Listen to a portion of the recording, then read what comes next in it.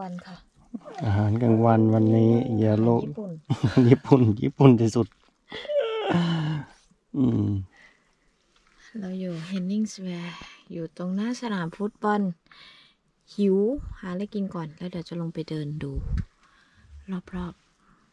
ๆ โชเฟอร์ กิน อืมโนในรีวิวลูกชิ้นนอร์เวย์หน่อยสิ ลูกชิ้นปลานอร์เวย์ ลูกชิ้นปลาโนเวย์ อืมอืมมันเหมือนลูกชิ้นปลาของของไทยเราเนี่ยแหละ อืม แต่มันไม่เด้งเนาะอืมแต่ว่ามันไม่เด้งมันไม่ได้สายใส่สารอะไร ใช่ แต่ก็โอเค อร่อยอยู่ อร่อยอยู่ ใช้ได้อยู่ แต่ต้องซื้อที่ว่าเนื้อปลาเยอะๆนะ อืม ดู ลูกสาว ไม่เผ็ดเหรอลูก ชอบกินมาก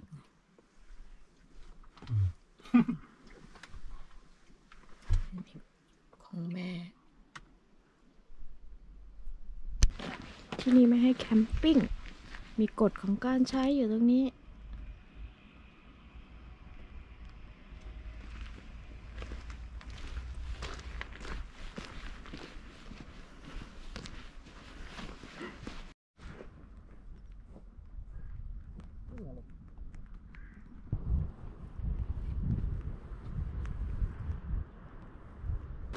เราจะไปดูหิน ที่มีอายุเก่าแก่หลายร้อยล้านปี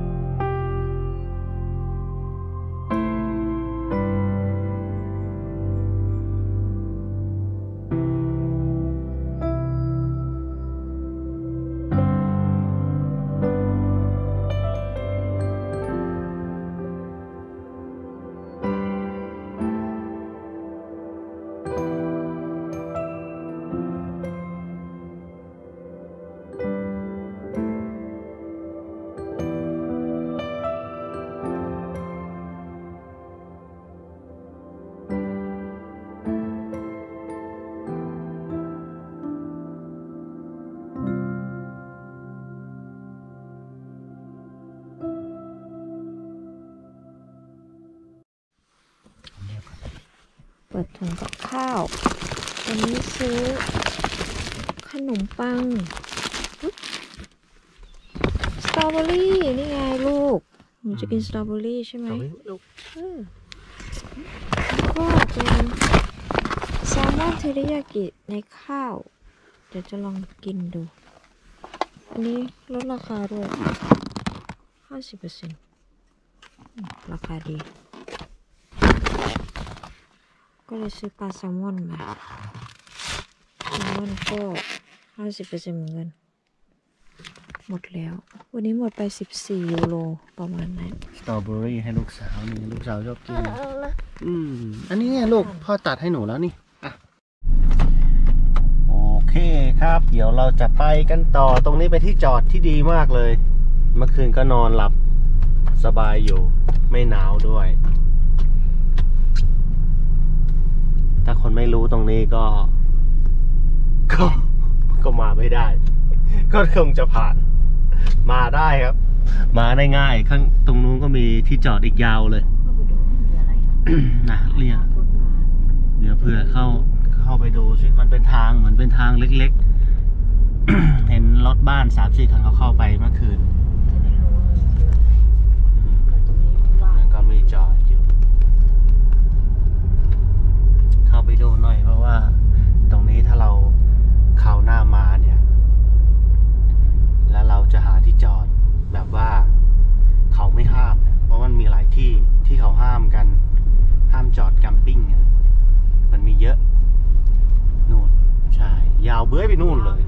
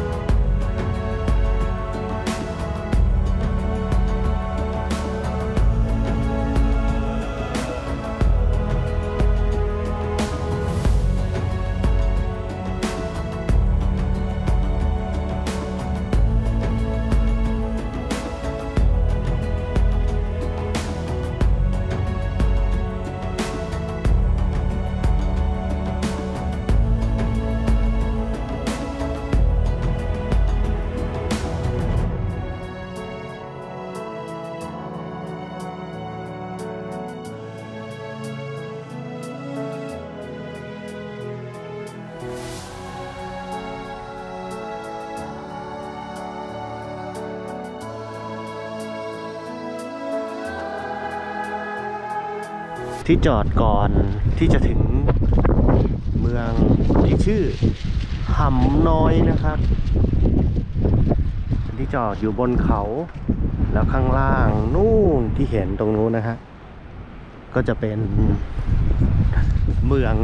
หำน้อยของเรา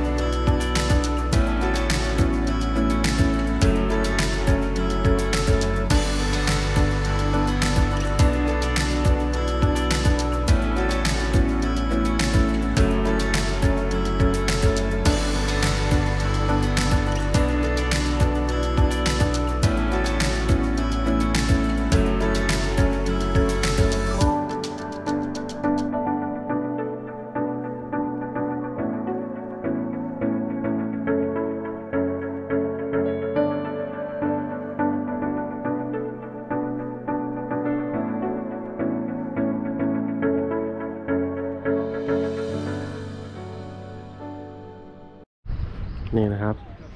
ทางเข้าที่จอดรถ ก็ขับไปทางนี้นะฮะเราจะมาจากตรงนู้นข้างหน้านู้นนะฮะแล้วก็ ตรงนี้ก็เป็นปั๊มน้ำมัน มีร้านขายเบอร์เกอร์ทุกอย่างมีกาแฟ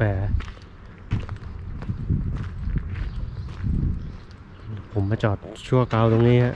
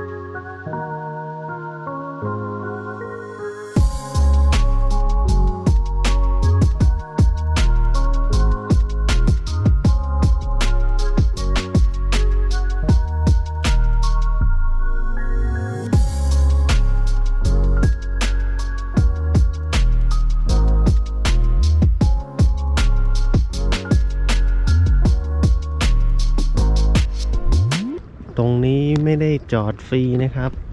คือต้องเสียตังค์ราคาอยู่ตรงนี้เลยนะฮะ มีเป็นเวลาบอกด้วย ถ้ามีรถบ้านก็สามารถไปเติมน้ำไปทิ้งขยะไปซิงน้ำเสียออกได้นะครับ ตรงนี้ ตรงนี้ก็ปลาตากแห้งเต็มไปหมดเลยฮะ ได้กลิ่นปลาเนี่ย เต็มเลยฮะ